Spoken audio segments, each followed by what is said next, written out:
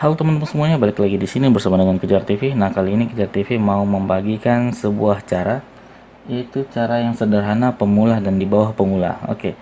Caranya yaitu cara mengubah thumbnail. Nah, kita tahu ya kalau di YouTube itu banyak sekali thumbnail. Thumbnail itu sejenis ini gambar kecil yang ada di depan video. Nah, kayak gini nih. Nah, kalau kita letak arahkan, dia hilang. Nah, jadi itu thumbnailnya kayak ini, kayak alibata tuh nah itu thumbnailnya kayak apa lagi? Nah ini ada tulisannya 16 pasien. Nah itu thumbnail.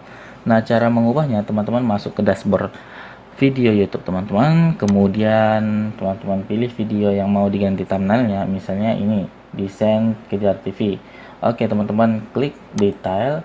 Kemudian teman-teman di sini silakan scroll ke bawah. Nih bagian thumbnail ya. Ini tampilan baru dari YouTube Studio YouTube ya Nah, thumbnail ini teman-teman langsung klik di sini titik tiga. Oke, siap. Nah, di sini teman-teman bisa ubah. Oke, kalau udah diubah, teman-teman bisa uh, ini uh, men-save ya. Lalu teman-teman simpan. Misalnya teman-teman mau ubah jadi ini, kejar TV. Nah, baru di save ya. Dan dia akan berubah teman-teman. Jadi gampang banget ya cara merubahnya. Nah, cara membuat thumbnail gimana?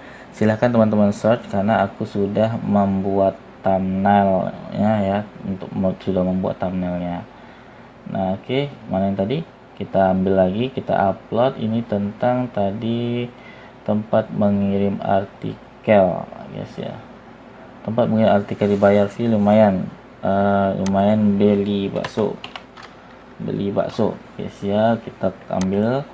Hmm, kemudian di channel YouTube siap. Di sini filenya saya bakso. Bakso. Uh, mana dia? Nah kalau teman-teman cari ini banyak banget ya. Jadi aku bingung carinya lagi nih. Oke siap. Kalau dari ceng seperti itu ya. Nah jadi silakan teman-teman coba caranya Oke, sampai jumpa dan terima kasih. Tetap stay di sini di channel Kejar TV. Bye bye.